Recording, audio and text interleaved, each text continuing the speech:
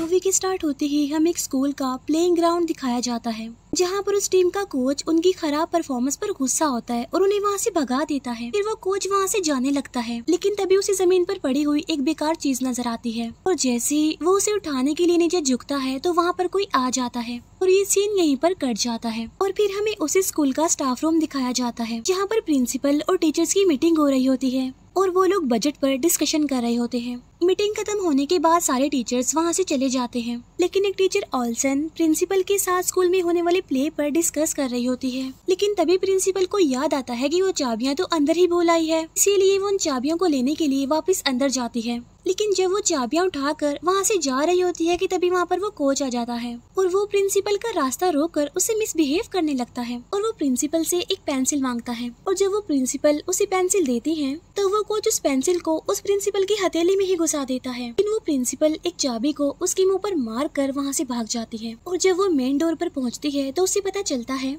कि वो कोच तो उसे पहले ही वहाँ पर लॉक कर चुका है और तभी उसे टीचर ऑल्सन बाहर खड़ी हुई दिखती है और वो उसे हेल्प मांगती है। तब ऑल्सन कहती है कि इसके लिए पहले तुम्हें चाबियाँ लानी होंगी। तो इसीलिए वो प्रिंसिपल जल्दी से उन चाबियों को ले आती है और जैसे ही वो दरवाजे को खोल रही होती है, वहाँ पर वो कोच आ जाता है।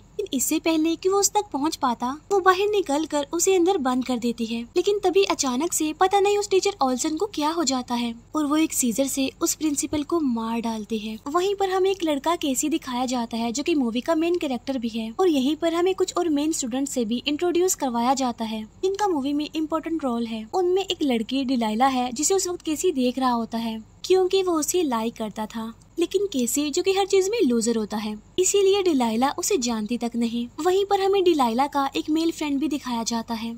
वहीं पर हमें डिलाइला की फीमेल फ्रेंड भी दिखाई जाती है, जो ज़्यादा किसी से बात नहीं करती थी। इसके बाद हमें एक लड़की मैरी बेथ दिखाई जाती है, जो कि सिटी और स्कूल में नहीं आई थी। इसके बाद हमें एक लड़का जीक दिखाया जाता है, जो कि पेन में ड्रग बेचने के लिए फेल होता रहता है। हालाँकि वो काफ़ी लाइक स्टूडेंट होता है। इसके बाद हमें दोबारा से स्कूल का स्टाफ रूम दिखाया जाता है, जहाँ पर सारे टीचर्स अपने अपने काम कर रहे थे। लेकिन हम देखते हैं कि वो कोच बहुत ज़्यादा पानी पी रहा है, वो भी बार बार अभी वहाँ पर टीचर ऑल्सन भी आती है, जो उसकी तरफ़ देख स्माइल करने लगती है। यानी इसका मतलब ये है की उन दोनों में कुछ कॉमन है और उन दोनों में ही कोई गड़बड़ है। इसके बाद हमें केसी दिखाया जाता है, जिसे प्लेइंग ग्राउंड से एक अजीब सा इंसेक्ट मिलता है और वो उस इंसेक्ट को अपने लैब टीचर के पास ले आता है। लेकिन वो कीड़ा पूरी तरह से इनएक्टिव होता है, लेकिन बाय मिस्टेक उस कीड़े पर पानी गिर जाता है, जिसकी वजह से वो कीड़ा ज़िंदा हो जाता है। और ये देखकर वो साइंस टीचर उसे पानी में डाल देता है, जिससे वो कीड़ा पानी में तैरने लगता है। और ये देखकर वो टीचर उस कीड़े को टच करता है, जिससे उस कीड़े के दो हिस्से हो जाते हैं और वो दोनों ही तैरने लगते हैं।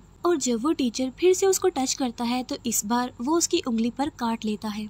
और अब वो टीचर उस पर रिसर्च करने के लिए उस यूनिवर्सिटी भेजने का डिसीज़न लेता है। इसके बाद हमें डिलाइला का फ्रेंड दिखाया जाता है, जो कि शॉवर ले रहा था। लेकिन तभी वहाँ पर उसकी टीचर आ जाती है। और वो बिल्कुल पागलों की तरह रिएक्ट कर रही थी। और वो बताती है कि हम पर एक काफ़ी बड़ी मुसीबत आने वाली है। तब डिलाइला का फ्रेंड समझता है कि शायद कि मेंटली अनस्टेबल है। इसीलिए उसे रिलैक्स करने के लिए गले से लगा लेता है। लेकिन तभी उसके बहुत सारे बाल उसके हाथ में आ जाते हैं और ये देख कर वो काफ़ी हैरान रह जाता है। लेकिन तभी ऑन द स्पॉट उस टीचर की मौत हो जाती है। इसके बाद हमें केसी और डिलाइला का फ्रेंड दिखाया जाता है, जो की ऑल्सन को उसी टीचर के बारे में बता रहे होते हैं। तब ऑल्सन उनसे कहती है की उस टीचर को तो कैंसर था और इसी वजह से शायद वो मर गई। तभी केसी नोटिस करता है कि वो कुछ ग्राउंड में खड़ा हुआ, काफ़ी देर से पानी में भीग रहा है। और जब केसी ऑफ़िस में जा रहा होता है तो उसे वहाँ पर डिलाइला मिलती है। तब वो दोनों बातें करने लगते हैं क्योंकि उन्हें लग रहा था कि स्कूल में ज़रूर कुछ न कुछ अजीब चल रहा है और तभी केसी नोटिस करता है कि वहाँ पर कोई आ रहा है। इसीलिए वो दोनों एक कबर्ड में जाकर छुप जाते हैं। तब वो दिखती है कि वहाँ पर कोच और टीचर ऑल्सन आए हैं, जो कि बहुत सारा पानी पी रहे हैं और इतनी ही देर में वहाँ पर एक नर्स भी आ जाती है। लेकिन तभी वो कोच उसे पकड़ लेता है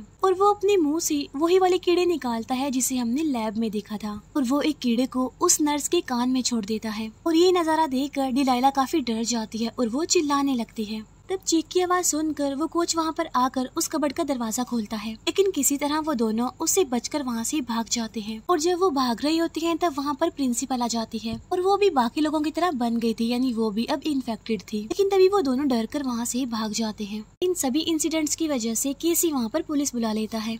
लेकिन पुलिस को तो वहाँ पर सब कुछ नॉर्मल ही लगता है। तभी प्रिंसिपल उस पुलिस ऑफिसर को एक रूम में ले जाती है और जब वो दोनों बाहर आते हैं तो केसी नोटिस करता है कि वो पुलिस वाला कुछ अजीब लग रहा है। इसका मतलब ये है कि ये पुलिस ऑफिसर भी अब उस एलियन कीड़े की लपेट में आ गया है, जो कि उसे कंट्रोल कर रहा है। एक उसी टाइम प्रिंसिपल केसी की मदर को भी इस रूम में बुलाती है, जिस पर केसी कहता है की अभी मेरी तबीयत बहुत खराब है, इसीलिए हमें जल्दी से घर चलना चाहिए। और इसके बाद वो सब घर आ जाते हैं। तब घर आकर केसी के पेरेंट्स उसे काफ़ी डांटते हैं, क्योंकि उसने झूठ बोलकर पुलिस और प्रिंसिपल के सामने उनकी इंसल्ट करवाई। इसीलिए केसी के फादर उसे सारे इंटरनेट डिवाइसेस और उसका मोबाइल भी छीन लेते हैं और उसे एक रूम में बंद कर दिया जाता है, क्योंकि उन्हें लग रहा था कि केसी एक ड्रग एडिक्ट बन गया है। अब केसी डिलाइला से बात करना चाहता था। क्योंकि उसने भी तो वो सब कुछ देखा था, जिसकी वजह से वो काफ़ी परेशान थी। इसीलिए वो उसे मिलने के लिए विंडो से बाहर आता है। लेकिन तभी वो देखता है कि उसके स्कूल के वो टीचर्स बाहर ही खड़े हैं और इसीलिए वो डर कर नीचे गिर जाता है। लेकिन तभी वो देखता है कि वहाँ पर तो कोई भी नहीं है,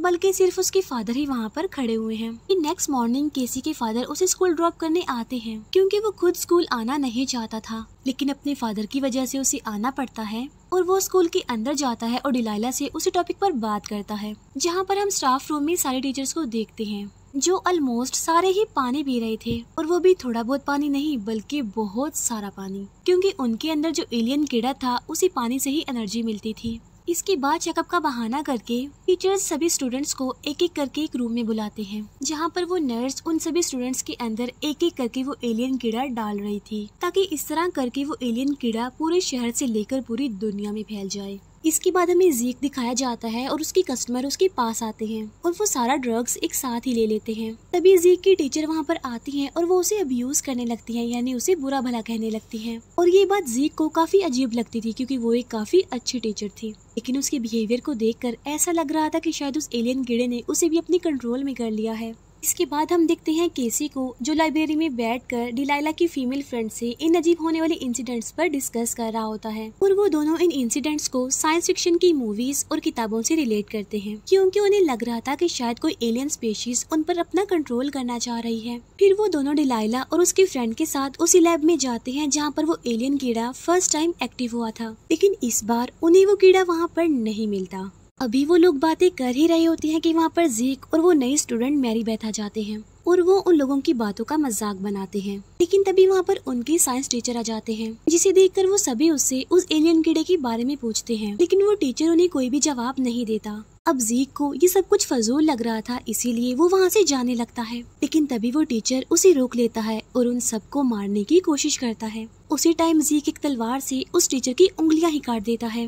लेकिन उस टीचर की उंगलियाँ किसी इंसेक्ट की तरह ज़मीन पर मूव करने लगती हैं और उस टीचर के कटे हुए हाथ से धागे निकलने लगते हैं। और जब वो टीचर जीक को मारने की कोशिश करता है तो जीक अपना ड्रग से भरा हुआ इंजेक्शन उस टीचर की आँख में घुसा देता है, जिससे वो टीचर काफ़ी तड़पता है और देखते ही देखते उसकी मौत हो जाती है। फिर वो सभी लोग वहाँ से निकलकर जीक के घर पर आ जाते हैं। जहाँ पर वो देखते हैं कि जीक ने ड्रग बनाने का अपना ही एक सेटअप तैयार किया होता है। फिर वो उसी एलियन कीड़े को चूहे के पास डालता है और बाद में वो उस पर पानी डालता है।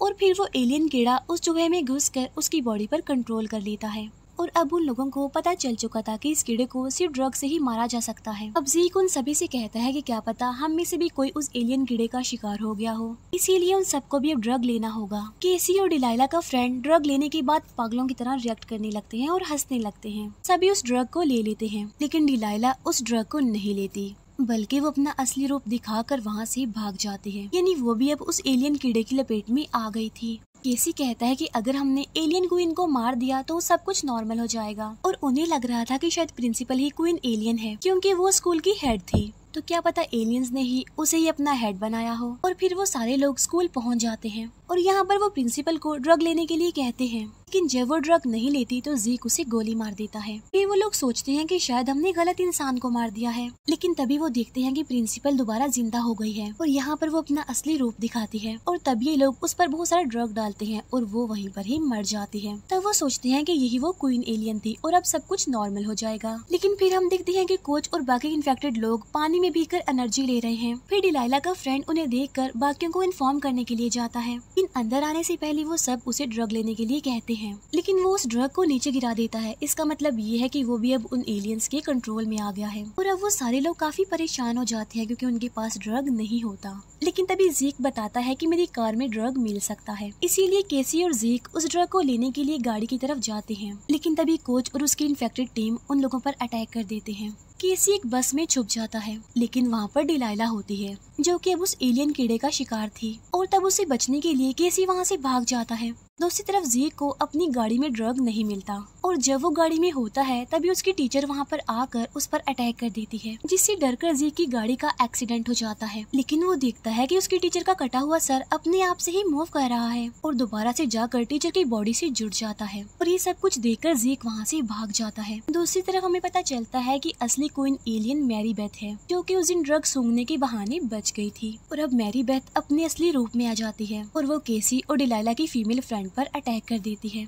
और वो डिलाइला की फीमेल फ्रेंड को पूल में खेच कर ले जाती है। लेकिन किसी तरह वो दोनों वहाँ से बचकर लॉकर रूम में चले जाते हैं। और अब मैरी बेथ इंसानी रूप में आकर उन दोनों को ढूँढने लगती है। और तभी वहाँ पर जीक आ जाता है। लेकिन डिलाइला की फीमेल फ्रेंड उसे मैरी बेथ के पास जाने से रोकती है। लेकिन डिलाइला की वो फीमेल फ्रेंड पूल में गिरने की वजह से अब इन्फेक्टेड हो गई थी। अब जीक उन दोनों के बीच फंस गया था, लेकिन तभी उसे बचाने के लिए केसी वहाँ पर आ जाता है। लेकिन तब तक क्वीन एलियन यानी मैरी बेथ जीक को बेहोश कर देती है। और अब वो केसी के पीछे पड़ जाती है। लेकिन केसी किसी तरह चलाकी करके उसे गेट में फंसा देता है। और बाद में उसकी आँख में ड्रग से भरा हुआ पेन घुसा देता है, जिससे मैरी बेथ यानी वो एलियन क्वीन वहीं पर ही मर जाती है। और इसके बाद हमें दिखाया जाता है कि सब कुछ पहले की तरह नॉर्मल हो गया है और अब केसी हीरो बनकर सबके सामने आ जाता है और अब डिलाइला को भी वो अच्छा लगने लगा था। और यहीं पर ये मूवी दी एंड हो जाती है। अगर आपको एक्सप्लेनेशन पसंद आई हो तो कमेंट सेक्शन में ज़रूर बताइएगा। Thank you for watching